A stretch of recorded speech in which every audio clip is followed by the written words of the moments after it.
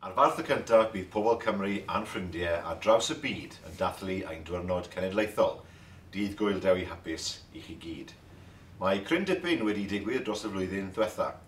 Ni wedi ethol pumed cynulliad cenedlaethol Cymru cael referendwm lle bleidleisiodd y Deyrnas Unedig dros ymadel ar undeb Ewropeaidd a gweld arlywydd newydd yn, yn, yn unol dyleithiau gydag etholiadau ar fi'n cael eu cynnal mewn nifer o wledydd Ewropeaidd dros y misoedd nesaf, bydd heriau go fawr o'n blaen i gyd yn 2017.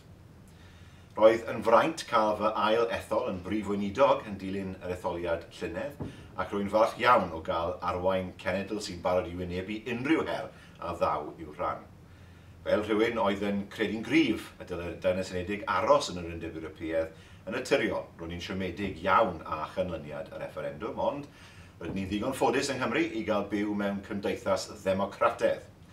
Roedd leisiwyd yn ddemocrataidd dros y madel, felly fy mlaenoriaeth i nawr yw gwneud fy ngorau dros Cymru a'r Dynas Unedig yn y trafodaethau am y broses i'w dilyn. Er, i'r Dynas Unedig bleidleisio gyda mwyafrif bach dros ymadael ar undeb Ewropeaidd, dydyn ni ddim yn gadael Ewrop ac mae gennym ni nifer o ffrindiau a phartneriaid ar draws y cyfandir. Ers y ddeunawfed ganrif, pan ddaeth Cymru i fod yn wlad ddiwydiannol gyntaf y byd, mae'n economi a'n cymdeithas wedi elwa o gyfraniad pobl o bob cwr o'r byd. Pobl sydd wedi dod yma i astudio, i ddysgu ac i weithio yn ein hysbytau. Rhwng 2014 a 2015 roedd 19.2 y cant o'r holl fyfyrwyr yng Nghymru yn fyfyrwyr rhyngwladol. Bobl busnes sydd wedi dod i fuddsoddi yng Nghymru a mae bod nhw'n gwybod bod gweithlu medrus a theingar yma ac ansawdd bywyd da. Dros y tair blynedd ariannol ddiwethaf, mae 34 o wledydd wedi gwneud 277 o fusoddiadau uniongyrchol tramor yng Nghymru. Mae pob un o'r bobl hyn wedi gwneud cyfraniad un Cymru ni heddi.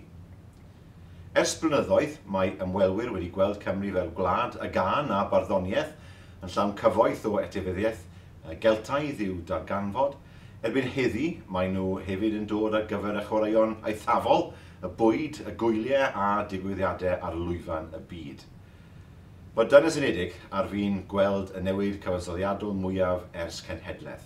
Mae llawer o ansicrwydd Ond un peth sydd yn sicr yw bod Cymru bob amser wedi bod yn genedl sy'n edrych tua'r gorwel. Eleni, yn fwy nag eriod, rydyn ni'n meddwl am bwysigrwydd hynny un hanes ac un dyfodol. Mae Cymru'n croesawu pawb sy'n gwneud cyfraniad un economi a'n cymdeithas.